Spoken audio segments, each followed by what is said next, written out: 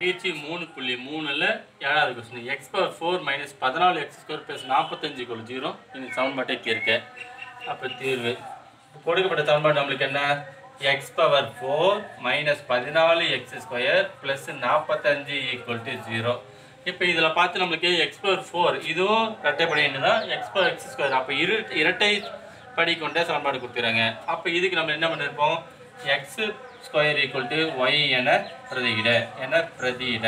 அப்போ பிரதியிட்டா அப்போ பிரதியிட்டா எல்லாம் ஒய்க்கு மாறிடுமா அப்போ இங்கே எக்ஸ் ஸ்கொயர் எக்ஸ் பார் ஃபோரை x square x square whole square எழுதலாம். மைனஸ் பதினாலு எக்ஸ் ஸ்கொயர் ப்ளஸ் நாற்பத்தஞ்சு ஈக்குவல் டு ஜீரோ அப்போ இந்த எக்ஸ் ஸ்கொயர் பதிலாக என்ன பண்ண போகிறேன் ஒய்யை பிரதி எடுக்கிறேன் அப்போ ஒய் ஸ்கொயர் மைனஸ் பதினாலு இந்த எக்ஸ் ஸ்கொயர் பதில் ஒய் ப்ளஸ் நாற்பத்தி அஞ்சு ஈக்குவல் டு ஜீரோ அப்போ பெருக்கனா நாற்பத்தஞ்சும் கூட்டனா பதி மைனஸ் பதினாலு வரணும். நாலு ஒம்பது சாரி ஒம்பதஞ்சு ஒம்பதஞ்சு நாற்பத்தஞ்சு.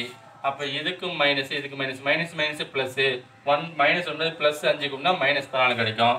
அப்போ ஒய் மைனஸ் ஒன்பது ஒய் மைனஸ் அஞ்சு ஈக்குவல் டு ஜீரோ அப்போ ஒய் ஒய் மைனஸ் ஒன்பது equal to zero y minus அஞ்சு ஈக்குவல் டு ஜீரோ அப்போ ஒய் ஈக்குவல் டு ஒன்பது. அப்போ ஒய் ஈக்குவல் டு அஞ்சு. அப்போ ஒய்க்கு ரெண்டு மதிப்பு கிடைக்குது.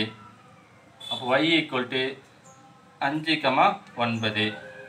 அப்போ ஒய் ஈக்குவல் டு அஞ்சு என்ன இது என்ன வச்சுக்கலாம் சமன்பாடு ஒன்று வச்சுக்கிறோம் ஒன்றில் பிரதியிட.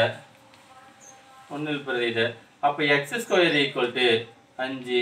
அப்போ x equal to plus or minus root அஞ்சு. அதே போல் ஒய் ஈக்குவல் டு ஒன்பது என பிரதியிட.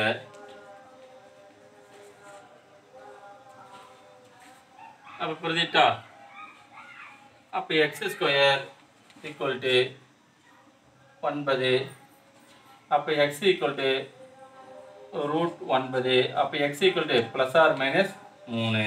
அப்போ தேட் ஃபோர் மூலங்கள் என்னெல்லாம் கிடைக்கும்? மூணு கமா மைனஸ் மூணு.